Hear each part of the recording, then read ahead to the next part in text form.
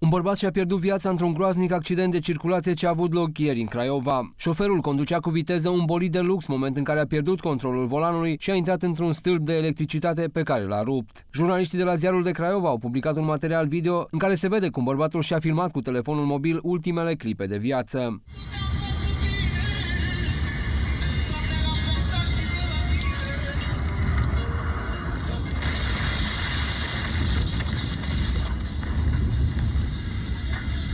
În goana nebună, mașina a mai fisurat o țeavă de gaz și s-a oprit în curtea unui localnic. Polițiștii au deschis un dosar penal în această cauză. Un bărbat de 48 de ani din Craiova conducea autoturismul pe calea București din direcția Balș către Craiova, a pierdut controlul volanului și a lovit un stâlp de curent, apoi gardul unui imobil. Acesta a decedat. În cauză s-a întocmit dosar penal pentru ucidere din culpă și se va efectua expertize pentru a se stabili dacă viteza a fost principala cauza producerii accidentului, a declarat Mihaela Gârd, purtător de cuvânt al IPJ Dolj. Polițiștii continuă cercetările în acest caz.